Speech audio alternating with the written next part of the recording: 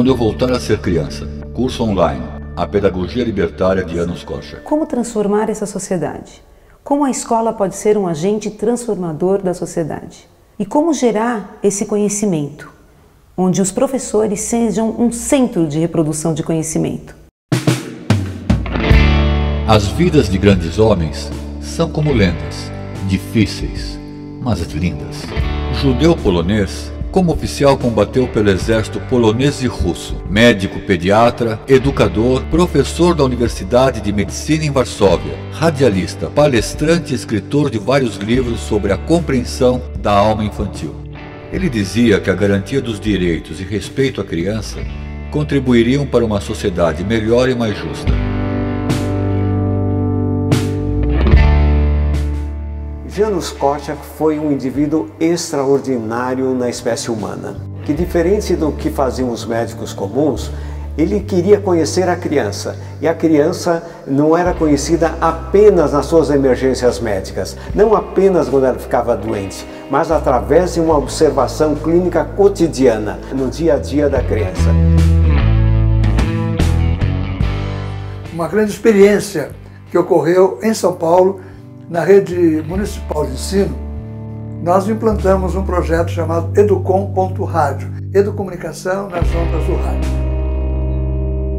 A Prefeitura de São Paulo tinha um grande problema para resolver a violência nas escolas. E, e, eu conversei muito também com o pessoal da Holanda, com o Hotel Capon, que faziam esses acampamentos uh, na Rússia, que eram os Nashdom Camps, para entender um pouco a rotina do acampamento, né? E li também o a Korchak, né, um, um pouco que ele escreveu sobre as colônias de férias. Era uma verdadeira república de crianças, uma república com sua constituição, um parlamento e um tribunal com seus juízes, além de contar com seus próprios jornais. Por meio de uma pedagogia revolucionária à frente de seu tempo, criou uma república de crianças, um tribunal infantil e um pequeno jornal de grande importância e impacto social. Então, formar educadores para uma experiência eh, radical como a que a Korczak fez é muito difícil. É um processo mesmo pessoal importante que cada educador passa e que o próprio Korczak passou e descreveu lindamente no livro, esse Como Amar uma Criança. Janusz Korczak e suas crianças deixaram um legado riquíssimo a certeza que é possível reformar o mundo através da educação.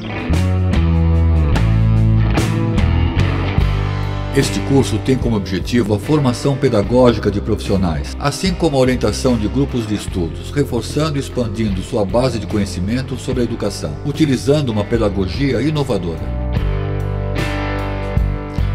As crianças não vão tornar-se pessoas no futuro porque já são pessoas.